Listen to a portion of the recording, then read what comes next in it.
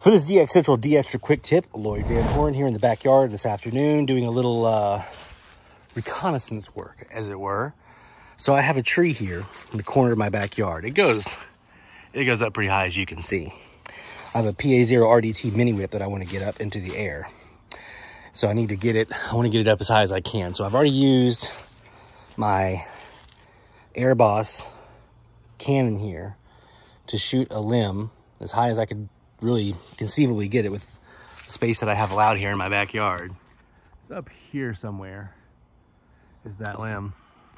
So I've already shot that, taken some of my rope, put it on the end of the fishing line and then backed everything back down. So I've got two ends of rope, one right here and one right here that go over that branch.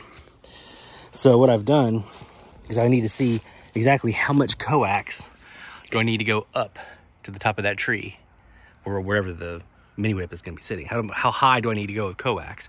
Because then the base down here, I'm going to have a ground rod with a lightning arrestor that the coax will plug into. And then my feed line coming from that lightning arrestor all the way down around to my window panel around the corner over there, which I can measure that easy. That's easy. But I need to know, okay, how much coax do I need to do to get me up into that tree up there and then down here this lightning arrestor? So how do you measure that?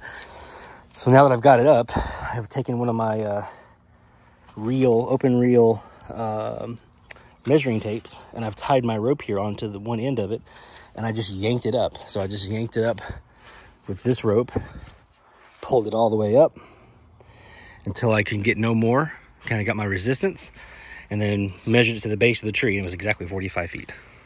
So now I know I need about 50 feet of coax to get me up to the top where my tree, uh, my branches that I'm slung on. That put me up 45 feet for this PA0 RDT mini whip. Not bad. So that's how I do it. 73.